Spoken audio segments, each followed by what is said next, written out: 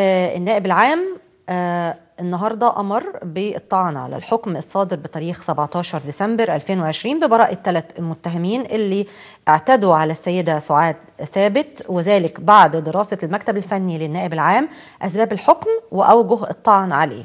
وجه النائب العام المستشار حمادة الصاوي بتكليف المكتب الفني بمكتبه بدراسة أوجه الطعن على الحكم ببراءة المتهمين في الواقعة المعروفة بسيدة القرن فور إيداع محكمة الجنايات التي أصدرت الحكم أسبابه الحقيقة أن ده بمثابة إعادة الثقة لأي شخص فقد الثقة في إجراءات التقاضي.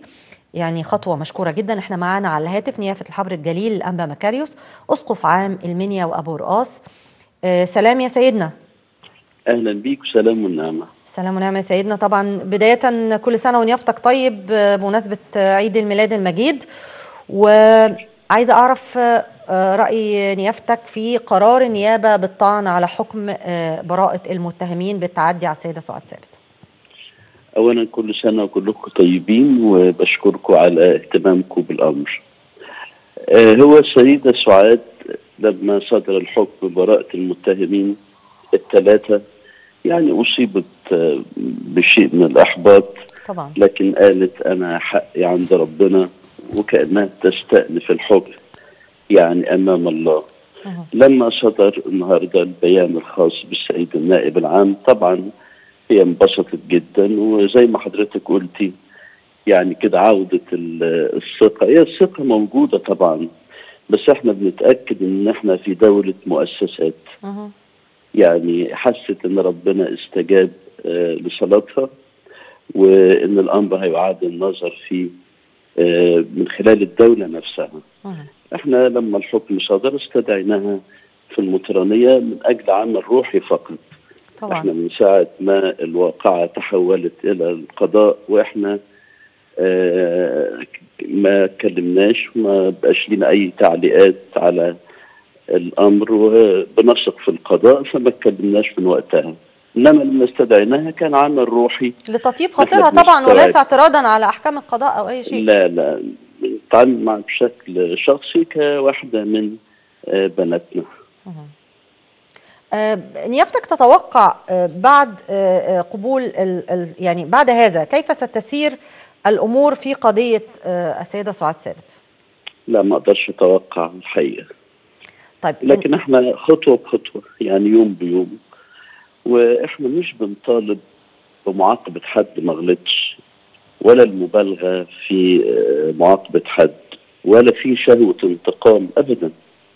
إحنا المبدأ اللي عندنا المبدأ الكتابي مبرئ المذنب ومجنب البريء كلاهما ما الرب.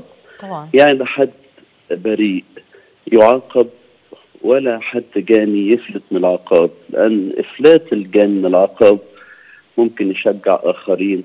على, على جرائم أخرى طبعا إنهم إنهم يقلدوا يمشوا في نفس السكة لكن نشكر ربنا إن في يقظة في الدولة وفي مؤسسات قوية وإن ممكن ما يبقاش الحكم ده آخر حاجة وإحنا لا بنلوم القاضي ولا بنلوم المحامي على فكرة. يعني المحامي ده راجل بيقوم بشغله طبعا. والقاضي قدامه أوراق إن كان بقى في حاجة في مصالح في كواليس حاجات إحنا ما أو ناس تراجعت عن شهاداتها أو غيرتها أحيانا وبرضو عايز أقول حاجة مهمة إن خروج السيدة سعاد كثيرا إلى الإعلام أضر بها.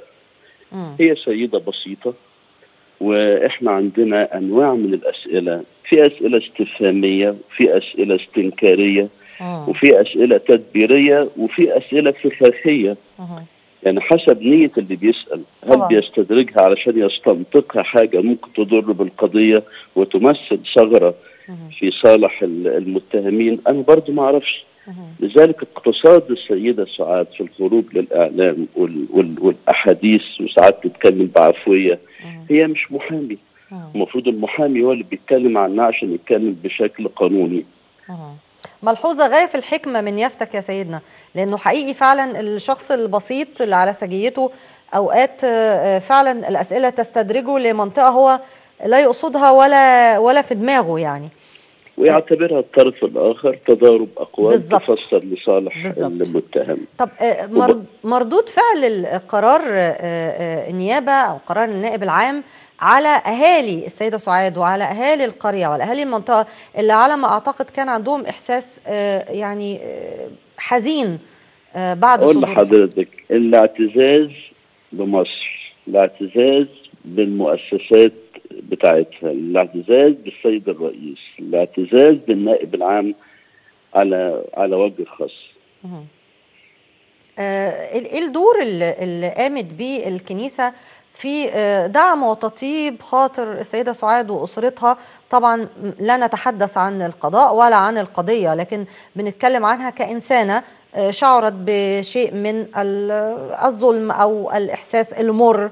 الدور اللي قامت بيه الكنيسة مع السيدة سعاد ثابت ومع أسرتها بعد آه، الأحداث هي الجسيمة. الواقعة متأسف الواقعة حصلت آه، يوم الجمعة وهي الست قعدت آه، تقاوم نفسها وتتحامل على نفسها لأنها بين نارين بين إنها سمعتها ومنظرها ودي سيدة آه، بسيطة آه، صعيدية وسمعتها مهمة وشرفها مهم ودي نقطة مهمة جدا طبعاً. أحب إن أنا أحط خط تحتها السؤال اللي بيفرض نفسه دلوقتي ومن بدري إيه اللي يدعو سيدة قاربت السبعين من عمرها إنها تشهر بنفسها وتفضح نفسها وتصر على إنها اتعرضت للمهانة دي.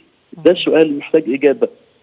يعني الناس اللي بيقولوا إن الواقع ما حصلتش وده ادعاء وتضارب الأقوال آه، بيؤكد إنها ما حصلتش وإن الكلام مفتعل. إيه اللي يدعو سيدة عايشة في هدوء وفي أمان وفي أقاصي الصعيد؟ وحضرتك عارفة تقاليد الصعيد طبعا. تصم نفسها الصعيد بشيء مشين بالشكل ده لا, لا شيء يدعوها لهذا طبعا. طبعا. وده سؤال محتاج إجابة. يعني طبعاً. لازم يتحط في الاعتبار. طبعا هي ما قدرتش تقاوم آه، إحساسها بأنها مظلومة وان عايزة تصرخ. حتى بس ناس يسمعوها يعرفوا إنها تعرضت للظلم. فده اللي رد على السؤال دي استنت خمس آه، خمس أيام. وفي جرائم ما تضيعش بالتقادم. مهم. المهم إن بعد ما هي أعلنت ده وبدأ الإعلام يتكلم عن الموضوع قداسه البابا كان خارج مصر. واتصل خصيصا آه، بيها واتكلم معاها وطيب خاطرها. وكان قبليه آه، السيد الرئيس برضه في الإعلام طيب خاطرها طبعا واعتذر هي- لها ده اعتذر لها اعتذار صريح وواضح آه، يعني. وده أثر فيها جدا جدا الحقيقة. طبعا. وقداسة البابا ما زال بيتابع آه، معايا بشكل شخصي آه، سير الأمور لكن مم. قداسة البابا وإحنا هنا لا نتدخل في القضاء واكتفينا آه، بان إحنا قلنا رأينا وقت القضية نفسها وصمتنا بعد كده مم. احتراما آه، آه، للقضاء عندنا. أنا بشكر حضرتك جدا بشكر نيافتك نيافة الحبر الجليل الأنبا مكاريوس أسقف عام المنيا وأبو قرقاس على هذه المداخلة القيمة ويعني آه، نتمنى إنه زي ما قلت ال- ال- المرة اللي فاتت لما اتكلمت على السيدة سعاد إنه آه، زي ما هي منتظرة عدالة آه، السماء ده لا يغني ابدا عدالة السم- السماء أمر مفروغ منه لا يغني ابدا عن تحقيق العدالة في الأرض.